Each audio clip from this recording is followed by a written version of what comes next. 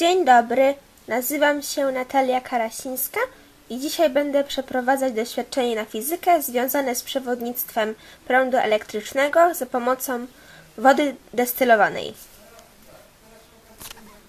Do przeprowadzenia doświadczenia będziemy potrzebować wody destylowanej, soli, baterii i diody LED oraz miseczki na wodę destylowaną. Plus dodatkowo będziemy potrzebować przewodów, które zaraz zostaną przeniesione. Nasze doświadczenie rozpoczniemy od przelania do miseczki wody destylowanej.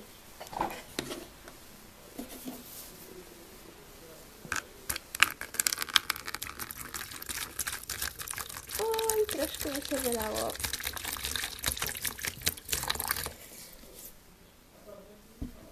Zdarza się.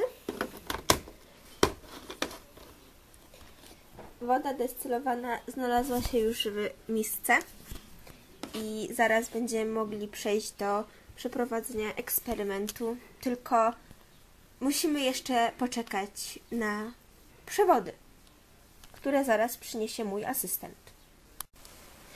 Więc kochani, tak jak widać, y, mój asystent podłączył już przewody do baterii zasilającej diodę.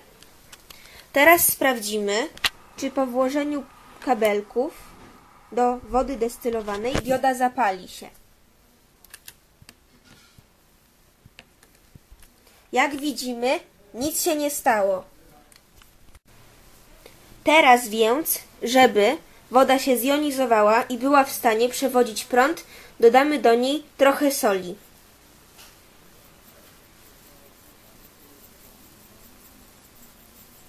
To może chwilę potrwać. Uwaga, kochani, teraz, gdy już woda jest posolona, wkładamy dwa kabelki i zobaczymy, czy dioda się zaświeci. Tylko zrobię na nią zbliżenie. Okej. O, nie widać jej dobrze. Sekundeczkę. Dobra, okej. Nie widać jej dobrze. Dobra, okej. Teraz wsadzam dwa kabelki do wody. Eureka! Zaświeciła się! Wniosek z tego doświadczenia jest bardzo prosty. Woda destylowana nie przewodzi prądu elektrycznego, ponieważ nie jest zjonizowana. Za to woda destylowana, do której dodano sól, już to robi, ponieważ jest zjonizowana. Dziękuję za uwagę i życzę miłego dnia wszystkim oglądającym.